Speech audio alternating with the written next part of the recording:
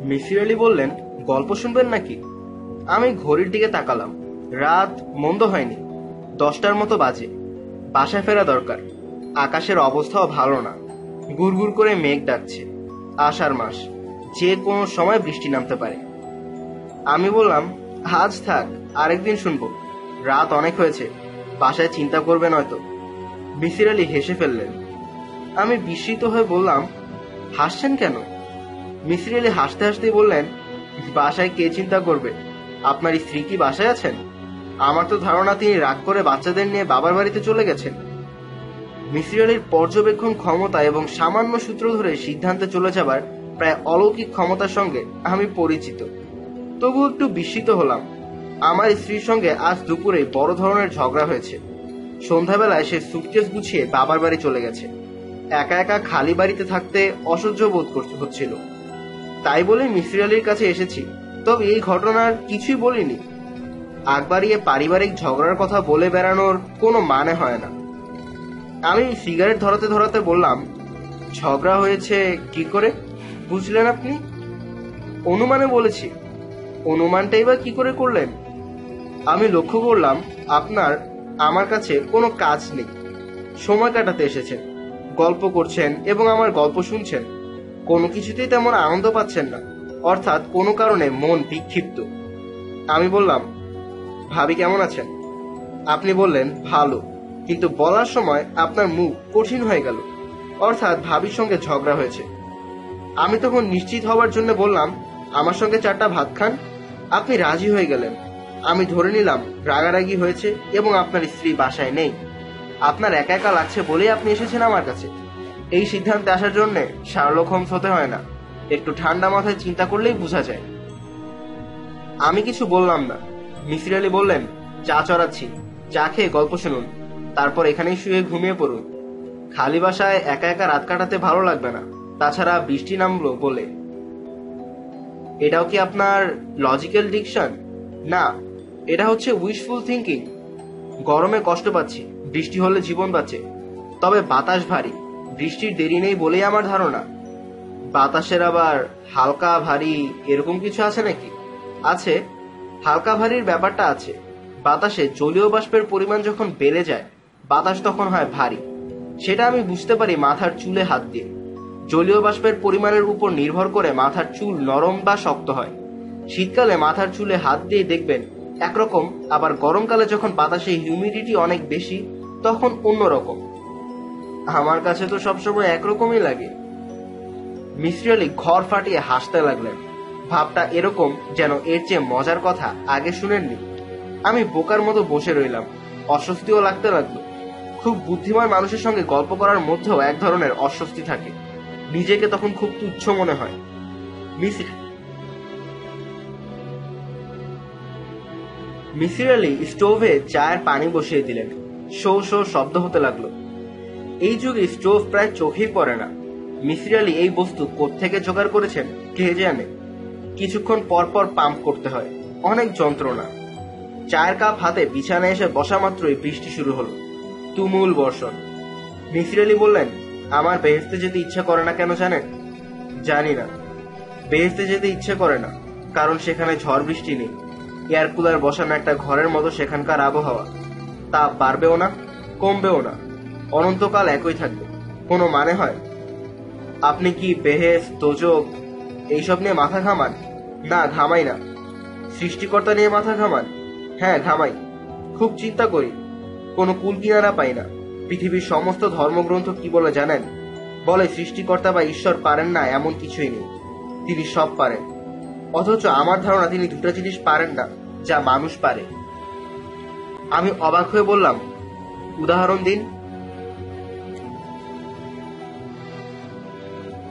সৃষ্টিকর্তা নিজেকে ধ্বংস করতে পারেন না। মানুষ পারে। আবার সৃষ্টিকর্তা দ্বিতীয় একজন সৃষ্টিকর্তা তৈরি করতে পারেন না। মানুষ কিন্তু পারে। সে সন্তানের জন্ম দেয়। আপনি তাহলে একজন নাস্তিক? না, আমি নাস্তিক না। আমি খুবই আস্তিক। আমি এমন সব রহস্যময় ঘটনা আমার চারপাশে ঘটতে দেখেছি, যে কিনা আমাকে বাধ্য করেছে আস্তিক হতে। ব্যাখ্যাতীত সব ঘটনা, যেমন স্বপ্নের কথাটাই ধরুন, সামান্য স্বপ্ন, অথচ ব্যাখ্যাতীত এক ঘটনা। ব্যাখ্যাতীত হবে কেন? ফ্রয়েড তো চমৎকার ব্যাখ্যা করেছেন বলে শুনেছি। মোটেই চমৎকার ব্যাখ্যা করেননি। স্বপ্নের পুরো ব্যাপারটাই তিনি অবদমিত কামনার উপর চাপিয়ে দিয়ে লিখলেন ইন্টারপ্রিটেশনস অফ ড্রিম তিনি শুধু বিশেষ এক ধরনের স্বপ্নই ব্যাখ্যা করলেন, অন্য দিক সম্পর্কে চুপ করে রইলেন। যদিও তিনি খুব ভালো করে জানতেন মানুষের বেশ কিছু স্বপ্ন আছে যা ব্যাখ্যা করা যায় না। তিনি এই নিয়ে প্রচুর কাজও করেছেন। কিন্তু প্রকাশ করেননি। নষ্ট করে ফেলেছেন তার ছাত্র প্রফেসর জাং কিছু কাজ করেছেন মূল সমস্যায় পৌঁছতে পারেননি। বলতে বাধ্য হয়েছেন যে কিছু কিছু স্বপ্ন মানুষ কেন দেখে তা বলাই যাচ্ছে না। যেমন একটা লোক স্বপ্ন দেখল, হঠাৎ মাথার উপর সিলিং ফ্যানটা খুলে পড়ে গেল। স্বপ্ন দেখার দুদিন পর দেখা গেল, সত্যি সত্যি সিলিং সিলিং ফ্যান খুলে পড়ে গেছে। এই ধরনের স্বপ্নকে বলা হয় প্রিগনিশনস ড্রিম। এর একটি ব্যাখ্যা স্বপ্নে মানুষ ভবিষ্যৎ দেখতে পাচ্ছে, যা কখনো সম্ভব নয়। কাজে এ জাতীয় স্বপ্ন ব্যাখ্যাতীত। আমি বললাম, এমনও তো হতে পারে যে কাকতালীয় ভাবে মিলে গেছে। হতে পারে, প্রচুর কাকতালীয় ব্যাপার পৃথিবীতে ঘটছে, তবে কাকতালীয় ব্যাপারগুলিকেও একটা স্ট্যাটিস্টিক্যাল প্রবাবিলিটির ভেতর থাকতে হয়। প্রিকগনিকেশন ড্রিমের ক্ষেত্রে তা থাকে না। আমি ঠিক বুঝতে পারলাম না ব্যাপারটা। বোঝানো একটু কঠিন। আমি বরং স্বপ্ন সম্পর্কে একটা গল্প বলি। শুনতে চান? বলুন শুনি, ভৌতিক কিছু? না, ভৌতিক না, তবে রহস্যময় তো বটেই। আরেক দফা চা হয়ে যাক না হয়। হোক, কি ঠিক করলেন? থেকে যাবেন? বৃষ্টি কিন্তু বাড়ছে। আমি থেকে যাওয়াই ঠিক করলাম। মিসির আলী চা নিয়ে বিছানায় পা তুলে বসে গল্প শুরু হলো। ছোটবেলায় আমাদের বাসায় খাবনামা নামে একটা স্বপ্ন তথ্যের বই ছিল। কোনো স্বপ্ন দেখলে কি হয়, সব ওই বইয়ে লেখা। আমার মা ছিলেন বইটার বিশেষ ভক্ত। ঘুম থেকে উঠেই বলতেন, ও মিসির, বইটা একটু দেখতো একটা স্বপ্ন দেখলাম, স্বপ্নের মানে কি বল? আমি বই নিয়ে বসতাম। দেখতো বাবা, গরু স্বপ্নে দেখলে কি হয়? আমি বই উল্টে জিজ্ঞেস করলাম, কি রঙের গরু মা, সাদা না কালো? এই তো মুশকিলে ফেললি, সাদা না কালো খেয়াল নেই। সাদা রঙের গরু হলে ধন লাভ, কালো রঙের গরু হলে বিবাদ। কার সঙ্গে বিবাদ? তোর বাবার সাথে? লেখা নেই তো, মা। মা চিন্তিত হয়ে পড়তেন। স্বপ্ন নিয়ে চিন্তার তার কোনো শেষ ছিল না। আর কত বিচিত্র স্বপ্ন যে দেখতেন। একবার দেখলেন দুটো অন্ধ চড়ুই পাখি। খাবনামায় অন্ধ চড়ুই পাখি দেখলে কি হয় তা লেখা নেই। কবুতর দেখলে কি হয় লেখা আছে। মার কারণে খাবনামা ঘাটতে ঘাটতে একসময় পুরো বইটা আমার মুখস্থ হয়ে গেল। স্বপ্ন বিশারদ হিসেবে আমার নাম রটে গেল। যে যা দেখে আমাকে সে অর্থ জিজ্ঞেস করে। এই করতে গিয়ে জানলাম, কত বিচিত্র স্বপ্নই না মানুষ দেখে। সেই সঙ্গে মজার মজার কিছু জিনিসও লক্ষ্য করলাম। যেমন, অসুস্থ মানুষরা সাধারণত বিকট সব দুঃস্বপ্ন দেখে। বোকা মানুষদের স্বপ্নগুলি হয় সরল ধরনের। বুদ্ধিমান মানুষেরা খুব জটিল স্বপ্ন দেখে। সমাজে প্রতিষ্ঠিত ব্যক্তিরা একটা স্বপ্ন প্রায়ই দেখে। সেটা হচ্ছে, কোনো একটি অনুষ্ঠানে সে সম্পূর্ণ নগ্ন হয়ে উপস্থিত হয়েছে। সবার গায়ে ভালো পোশাক আশাক, শুধু সেই পুরোপুরি নগ্ন। কিন্তু মজার ব্যাপার হলো, কেউ তার লক্ষ্য করছে না। মিসির আলী সাহেব কথা বন্ধ করে আমার দিকে তাকিয়ে বললেন, এই জাতীয় স্বপ্ন কি আপনি কখনো দেখেছেন? আমি বললাম, না। একটা স্বপ্ন আমি বারবার দেখি। পরীক্ষা হলে পরীক্ষা দিতে বসেছি। খুব সহজ প্রশ্ন। সবগুলি উত্তর আমার জানা। লিখতে গিয়ে দেখি কলম দিয়ে কালি বেরোচ্ছে না। কলমটা বদলে অন্য কলম নিলাম। সেটা দিয়েও কালি বেরোচ্ছে না। এদিকে ঘণ্টা পড়ে গেছে।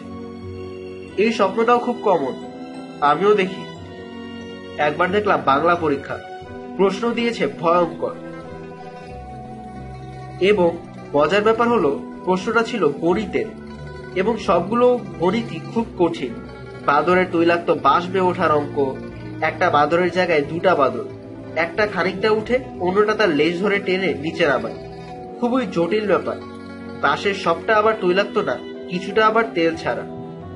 আমি বিস্মিত হয়ে বললাম, সত্যিই কি এমন স্বপ্ন দেখেছেন? জি না, ঠাট্টা করে বলছি। জটিল সব অঙ্ক ছিল, এইটুকু মনে আছে। যাই হোক, ছোটবেলা থেকে এইসব কারণে স্বপ্নের দিকে আমি ঝুঁকলাম। দেশের বাইরে যখন প্যারাসাইকোলজি পড়তে গেলাম, তখন স্পেশাল টপিক নিলাম ড্রিম ড্রিম ল্যাবরেটরিতে কাজও করলাম। আমার প্রফেসর ছিলেন ডক্টর সুইন হার্ন। দুঃস্বপ্নের ব্যাপারে যাকে পৃথিবীর সেরা বিশেষজ্ঞ বলা যেতে পারে। দুঃস্বপ্ন অ্যানালিসিসের তিনি একটা টেকনিক বের করেছেন, যার নাম সুইন হার্ন অ্যানালিসিস। সুইনহার্ট অ্যানালাইসিসের ব্যাখ্যা করা যায় না, এমন সব দুঃস্বপ্নের একটা ফাইল তার কাছে ছিল। সেই ফাইল তিনি তার গ্র্যাজুয়েট ছাত্রদের দিতেন না। আমাকে তিনি খুবই পছন্দ করতেন। সম্ভবত সে কারণে সেই ফাইল ঘাটার সুযোগ হয়ে গেল আমার। ফাইল পড়ে আমি হতভম্ব। ব্যাখ্যাতীত সব ব্যাপার। একটা উদাহরণ দেই। নিউ ইংল্যান্ডের একটা তেইশ বছর বয়সী মেয়ে দুঃস্বপ্ন দেখা শুরু করল। তার নাভি মূল থেকে একটা হাত বের হয়ে আসছে। স্বাভাবিক হাতের চেয়ে সরু, লম্বা লম্বা আঙুল। হাতটার রং ছিল নীলচে, খুব তুলতুলে। দুঃস্বপ্নটা সে প্রায়ই দেখতে লাগল। প্রতিবারই স্বপ্ন ভাঙত এক বিকট চিৎকারে। তাকে ড্রিম ল্যাবরেটরিতে ভর্তি করা হলো। প্রফেসর সুইনহার্ন রুইনের মনোবিশ্লেষণ করলেন। অস্বাভাবিক কিছুই পেলেন না। মেয়েটিকে পাঠিয়ে দেওয়া হলো নিউ ইংল্যান্ড। তার কিছুদিন পর মেয়েটি লক্ষ্য করল তার নাভিমূল ফুলে উঠেছে। এক ধরনের নন ম্যালিগনেট গ্রোথ হচ্ছে। এক মাসের মধ্যে সেই টিউমার মানুষের হাতের আকৃতি ধারণ করল। টিউমারটির মাথায় মানুষের হাতের আঙুলের মতো পাঁচটি আঙুল। মিস্ত্রি আলীকে থামিয়ে দিয়ে বললাম, ভাই, এই গল্পটা থাক। শুনতে ভালো লাগছে না।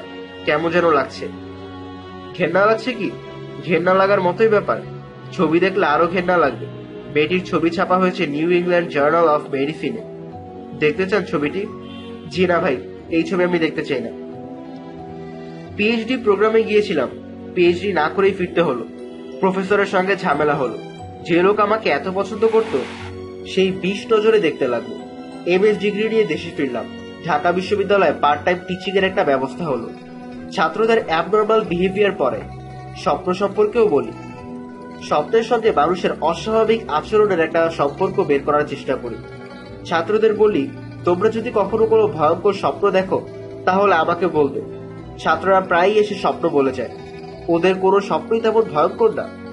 সাপে তাড়া করছে, আকাশ থেকে মাটিতে পড়ে যাচ্ছে, এই জাতীয় স্বপ্ন। আমার ইচ্ছা ছিল দুঃস্বপ্ন দিয়ে গবেষণার কিছু কাজ করব। সেই ইচ্ছা আবার সফল হলো না, ভাই। দুঃস্বপ্ন দেখছে এমন লোকজনই পাওয়া গেল না। আমি গবেষণার কথা যখন ভুলে গেলাম, তখন এলো লোকমান ফকির। লোকমান ফকিরের বাড়ি কুমিল্লার নবীনগরে। বয়স তিরিশ পঁয়ত্রিশ। শিপিং কর্পোরেশনে মোটামুটি ধরনের চাকরি করে। দু কামরার একটা বাড়ি ভাড়া করছে কাঁঠাল বাগানে। বিয়ে করেনি, তবে বিয়ের চিন্তা ভাবনা করছে। তার এক মামাতো বোনের সঙ্গে বিয়ের কথাবার্তা হচ্ছে। মেয়েটিকে তার একদমই পছন্দ নয়। তবে অপছন্দের কথা সে সরাসরি বলতেও পারছে না, কারণ তার এই মামা তাকে পড়াশোনা করিয়েছেন। ছেলেটি এক সন্ধ্যায় আমার সঙ্গে দেখা করতে এলো। আমি তাকে দেখে চমকে উঠলাম। মুখ পাণ্ডুর বর্ণ, মৃত মানুষের চোখের মতো ভাবলে সেন চোখ। যৌবনের নিজস্ব যে জ্যোতি যুবক যুবতীর চোখে থাকে, তার কিছুই এর মধ্যে নেই। ছেলেটি হাঁটছে খুঁড়িয়ে খুঁড়িয়ে কিছুক্ষণ পরপরই আবার চমকে উঠছে। সে ঘরে ঢুকে বিনা ভূমিকায় বলল, স্যার, আপনি আমাকে বাঁচান। আমি ছেলেটিকে বসালাম, পরিচয় নিলাম, হালকা কিছু কথাবার্তা বলে তাকে স্বাভাবিক করার চেষ্টা করলাম। কিন্তু তাতে খুব লাভ হলো বলে মনে হলো না, তার অস্থিরতা কমল না। লক্ষ্য করলাম সে অস্থির হয়ে বসতেও পারছে না, খুব নড়াচড়া করছে। আমি বললাম, তোমার সমস্যাটা কি? ছেলেটি রুমাল দিয়ে কপালের ঘাম মুছতে মুছতে প্রায় অস্পষ্ট গলায় বলল, স্যার, আমি দুঃস্বপ্ন দেখি, ভয়ঙ্কর দুঃস্বপ্ন। আমি বললাম, দুঃস্বপ্ন দেখে না, এমন মানুষ তুমি খুঁজে পাবে না। সাপে তারা করছে, বাঘে তারা করছে, আকাশ থেকে নিচে পড়ে যাওয়া, এগুলি খুবই কমন স্বপ্ন। সাধারণত হজমের অসুবিধা হলে লোকজন দুঃস্বপ্ন দেখে, ঘুমের অসুবিধা হলেও দেখে। তুমি শুয়ে আছো, মাথার নিচ থেকে বালিশ সরে গেল। তখন এরকম স্বপ্ন তুমি দেখতে পারো। শারীরিক অস্বস্তির একটা প্রকাশ ঘটে দুঃস্বপ্নে। আগুনে পোড়ার স্বপ্ন মানুষ কখন দেখে জানো? যখন পেটে গ্যাস হয়। সেই গ্যাস বুকে জ্বালা পোড়া করে। তখন সে স্বপ্ন দেখে তাকে জ্বলন্ত আগুনে ফেলে দেওয়া হয়েছে। স্যার, আমার স্বপ্ন এরকম না, অন্যরকম। ঠিক আছে, গুছিয়ে বলো, শুনে দেখি কীরকম। ছেলেটি সঙ্গে সঙ্গে কথা শুরু করল।